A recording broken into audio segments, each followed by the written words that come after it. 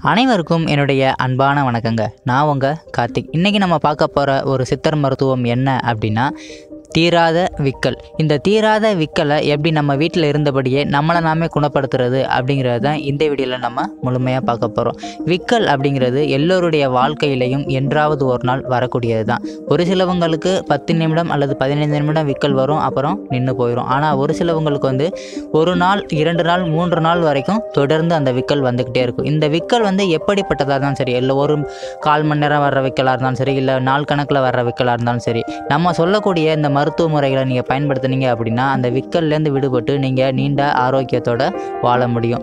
நான் விக்கலை பற்றின ஒரு முழுமையான தகவலை வந்து இதற்கு போ இதற்கு முன்னாடி உள்ள வீடியோவில் நான் சொல்லியிருக்கேன். விக்கலை பற்றின முழுமையான தகவல் ஏன் வருது?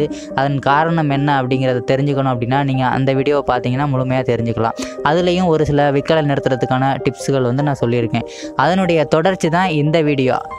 நம்ம இன்னைக்கு பார்க்க போகிற இந்த மருத்துவ முறை வந்து நம் முன்னோர்களாகிய சித்தர்கள் விக்கலை நிறுத்துவதற்காக நமக்காக சொல்லிட்டு போன அந்த மருத்துவ முறையை தான் இன்றைக்கி இந்த வீடியோவில் நம்ம முழுமையாக பார்க்க போகிறோம் இதுக்கு தேவையான பொருட்கள் என்னென்ன அப்படின்னா திப்பிலி சீரகம் மயிலிறகு சுட்ட சாம்பல் மற்றும் தேன். இந்த நான்கு பொருட்களை வச்சு தான் எப்படி நம்மளை நாமே விக்கலை குணப்படுத்தலாம் அப்படிங்கிறத பற்றி முழுமையான விளக்கத்தோட பார்ப்போம். விக்கலை குணப்படுத்துறதுக்கு தேவையான பொருட்கள் என்னென்ன வேணும் அப்படிங்கிறத பார்த்தோம். அது எவ்வளவு வேணும் அப்படிங்கிறத இப்போ பார்க்கலாம். அதனுடைய அளவுகள் எவ்வளவு வேணும் அப்படிங்கிறத இப்போ பார்ப்போம்.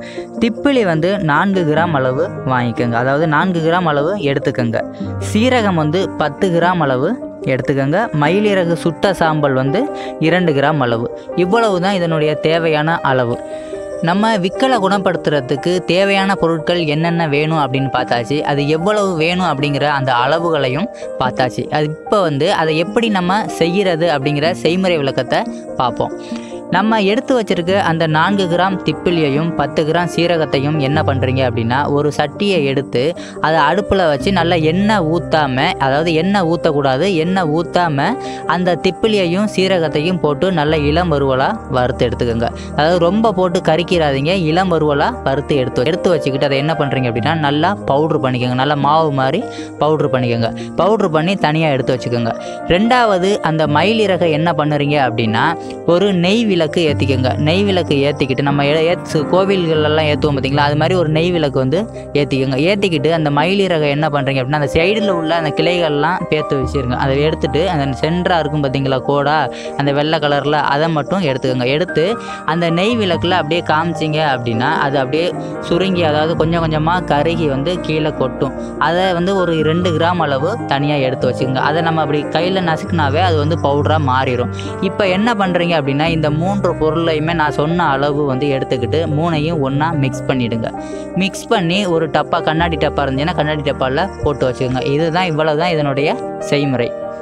இதை நம்ம எப்படி பயன்படுத்தணும் அப்படின்னா நம்ம செஞ்சு வச்சிருக்க இந்த மயிலிறகாதி சூரணத்தை என்ன பண்ணணும் அப்படின்னா விக்கல் வந்தவங்க ஒரு கிராம் அளவு எடுத்துக்கோங்க. ஒரு கிராம் அளவு இந்த மயிலிறகாதி சூரணத்தை எடுத்துக்கிட்டு அதற்கு தேவையான அளவு வந்து தேன் கலந்து நல்லா சாப்பிடுங்க. ரெண்டையும் நல்லா மிக்ஸ் பண்ணிவிட்டு அந்த மயிலிறகாதி சூரணத்தையும் தேனையும் நல்லா மிக்ஸ் பண்ணிவிட்டு நல்லா நாக்கில் தொட்டு வச்சு சாப்பிடுங்க. இந்த மாதிரி சாப்பிட்டீங்க அப்படின்னா அந்த விக்கல் வந்து நின்று போயிடும். ஒரு நேரம் சாப்பிட்டு விக்கல் நின்று போச்சு அப்படின்னா உடனே அந்த விக்கல்லாம் நின்றுருச்சு அப்படின்னு மருந்தை வந்து வேஸ்ட் பண்ணிடாதீங்க.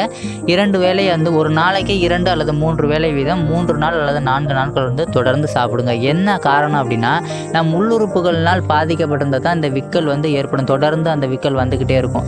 அதனால் நீங்கள் இந்த மூன்று வேலை வீதம் மூன்று நாள் அல்லது நான்கு நாட்கள் சாப்பிட்டீங்க அப்படின்னா அது வந்து கொஞ்சம் கொஞ்சமாக உள் உறுப்புகள் வந்து பாதிப்படைஞ்சது சரியாகி நம்ம நிரந்தரமாக அந்த விக்கல்லேருந்து விடுபட்டு ஆரோக்கியமாக வாழ முடியும். இந்த இந்த மருத்துவ முறையை வந்து நம்ம சாதாரணமாக ஏற்படக்கூடிய விக்கல்லேருந்து நம்ம நோய்களை ஏற்படுத்தக்கூடிய விக்கல் அதாவது நம்ம உள் உறுப்புகள் பாதிப்படைவதனால் வரக்கூடிய விக்கல் வரைக்கும் இது வந்து குணப்படுத்தும். இது இதை வந்து யார் சொன்னாங்க அப்படின்னா நம் முன்னோர்களாகிய சித்தர்களில் ஒருவரான தேரையர் அவருடைய மருத்துவ குறிப்பில் பாடலை விவரிச்சிருக்காங்க. அந்த பாடல் என்ன அப்படின்னா எட்டு திப்பிலி ஈரைந்து சீரகம் காட்டு தேனில் கலந்துண்ண விக்கலும் விட்டு போகும் விடாவிடில் போத்தகம் சுட்டு போடு அப்படின்னு சொல்லியிருக்காங்க. அடுத்த லைன் வந்து போகாவிடில் நான் தேரையனும் அல்ல அப்படின்னு சொல்லி முடிக்கிறாங்க. போத்தகம் அப்படின்னா மயில் இறகு.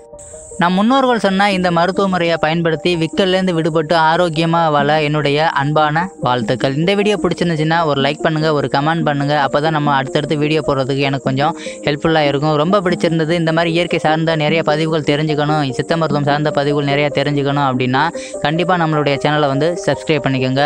விக்கல் நமக்கு தெரிஞ்சவங்க யாருக்காவது இந்த பிரச்சனை இருந்தது அப்படின்னா கண்டிப்பாக இந்த வீடியோவை ஷேர் பண்ணுங்கள் கண்டிப்பாக நமக்கு பயனுள்ளதாக இல்லை அப்படின்னாலும் அவங்களுக்கு கண்டிப்பாக இது பயனுள்ளதாக இருக்கும். நம்ம சொன்ன இந்த ஐந்து முறைகள் அதாவது இதில் வந்து ஒரு முறையும் போன வீடியோக்களில் நான்கு முறைகளும் இந்த விக்கலை பற்றி நான் சொல்லியிருக்கேன். இந்த ஐந்து முறை தான் விக்கலை குணப்படுத்துறதுக்கான ஒரு பெஸ்ட் மெடிசன் இதை பயன்படுத்தி நீங்கள் அனைவரும் ஆரோக்கியமாக என்னுடைய அன்பான வாழ்த்துக்கள். நாளைக்கு உங்களை இன்னொரு வீடியோவில் சந்திக்கிறேன். அது வரைக்கும் உங்கள்கிட்ட விடைபெறுவது உங்கள் கார்த்திக். வாழ்க தமிழ் வளர்க சித்த மருத்துவம். நன்றி வணக்கம்.